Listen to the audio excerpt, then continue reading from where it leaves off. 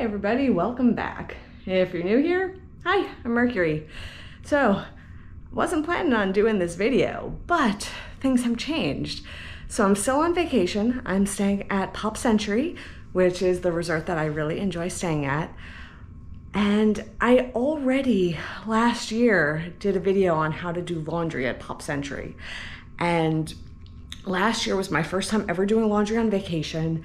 And I'm just I have stuff coming up at the when I get home, so I was like, I don't want to go back with dirty clothes. I have a little bit of time, so I'm just gonna do my laundry now. I, I, I can do it now. It's fine.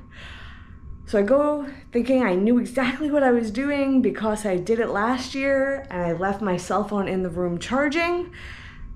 And it's a new system. There's a new system down there. So I was like, you know what? I came up here to grab my phone. Um, I'll grab my camera too and I'll show you the new system for doing laundry at Pop Century. So I am staying at the 80s section Pop Century and we have these gigantic Rubik's Cubes that are our stairwells. I'm gonna go down this and head over by the pool because by the pool is where guest laundry is.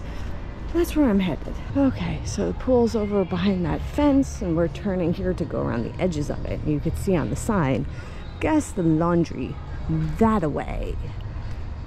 And you can see that beige building, that is guest laundry. And you can see in relation to the pool, this is guest laundry right here. That's the pool, guest laundry, pool. It's, it's right, right at the gate to the pool. Okay.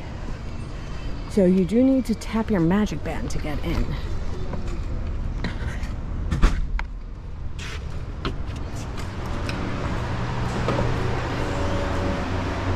So we have vending machines and this is the same as last year. So this is where you get your soap and your fabric softener, and that's fine. But last year there was like a thing mounted on the wall where you would like type in a code and you would pay for it and it would like toggle to the machines. Now, QR code and I had left my phone in the room charging so I, I needed to go back to my room to get the phone. So let's figure this all out. So I tap my credit card and it said card approved. Now I just need like tap in a number and there comes my soap. Okay, so I have acquired my soap. Okay, all of the laundry is in there. We'll just tuck tuck. Now we have to do the scanning part. So we'll scan it. Ooh. Let's see where it brings me. Okay, washer number five, it recognized it. It'll be $3.50. And you can either pay with credit or with Google Pay.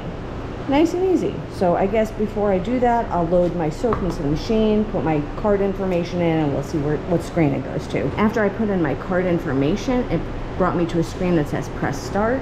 I put the soap in the soap compartment, close that, and press I want to be normal, not warm. So temperature, we want cold. And start. Okay, 28 minutes, washer running. I'm good. I did it. Okay. Oh look, and it tells me on the app how much time is left. Perfect. Okay, so while my laundry was washing, took a quick shower, so wet hair, quick change, but good use of time. Uh, the app, the little app or web screen, uh, it says it has four minutes left. So hopefully by the time I walk down there, it'll be ready.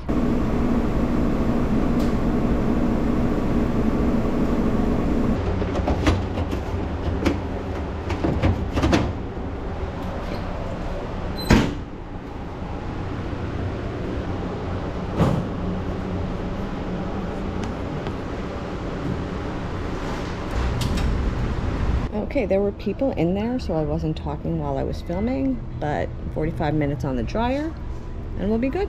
Okay, my laundry is almost done. Two minutes left. I will say, the app, awesome. It syncs perfectly in terms of the timing. So I threw all my laundry into the packing cube. I'm just gonna refold it so it's not all wrinkly. Laundry's done. It wasn't too bad. I really did like that app. It, it worked well. It synced up easily. You didn't know codes to mess with on the wall. Very, very straightforward. I just didn't bring my phone down the first time because I wasn't expecting it. but it worked out well. So I hope you found that helpful. And with that, I am done, and I'll see you all real soon. And until then, stay inspired by everyone. Take care.